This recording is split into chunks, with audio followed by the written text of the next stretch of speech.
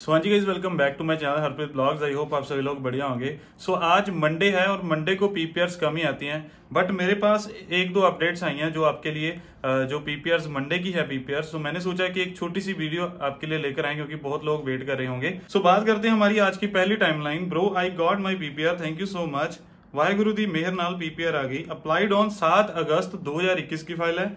Biometric इनके done and update हुए थे सितंबर थ्री दो में। मेडिकल इनका अपफ्रंट था उनतीस जुलाई 2021 का एंड अपडेट हो गया था 9 फरवरी 2022 को।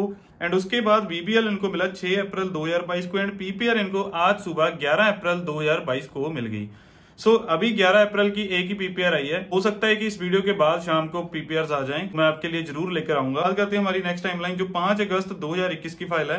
बायोमेट्रिक हुए थे 26 अगस्त 2021 के। उसके बाद कोई अपडेट नहीं आई इनको।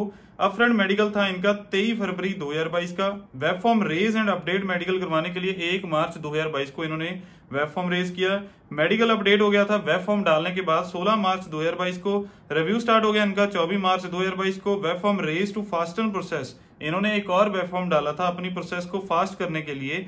उनको बोला होगा कि मेरी फ़ाइल को प्रोसेस करो। एक अप्रैल 2022 को एंड रिफ्यूजल इनको मिल गई थी 8 अप्रैल 2022 को। उसके बाद बात करते हैं हमारी नेक्स्ट टाइमलाइन जो 5 अगस्त 2021 की फ़ाइल है, एक और फ़ाइल है, अगस्त 2021 के रिज़ल्ट बहुत तेज़ी से आ रहे हैं।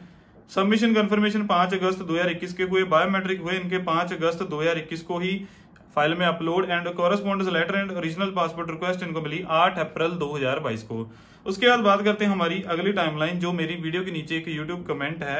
वाहेगुरु जी दी मेयर हो गई bro finally me and my son got PPR so अभी बहुत लोग नीचे कमेंट करते हैं कि किड प्लस एसओडब्ल्यू की फ़ाइल जो है वो अभी प्रोसेस नहीं हो रही।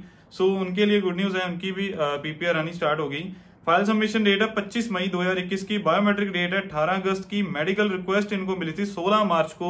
मेडिकल तीन दिन बाद 19 मार्च को करवाया। मेडिकल अपडेट हो गया 7 अप्रैल को एंड 8 अप्रैल को इनको फाइनली पीपीआर मिल गई। उसके बाद बात करते हैं हमारी नेक्स्ट टाइमलाइन जो 14 दिसंबर 2021 की फ़ाइल है।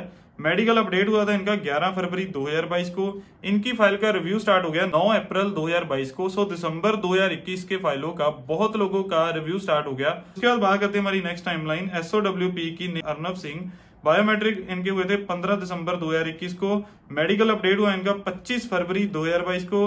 रिव्यू स्टार्ट हुआ था इनका 10 अप्रैल 2022 को। एंड 10 अप्रैल 2022 को ही इनको मतलब संडे को इनको पीपीआर आई थी। ये थी हमारी आज की छोटी सी वीडियो, क्योंकि पीपीआर मंडे होने की वजह से कम आई है। वीडियो के बाद हो सकता है ज़्यादा पीपीआर आए। सो मिलते हैं जी शाम वाली वीडियो में। बहुत सारी पीपीआर के साथ। Tell then bye bye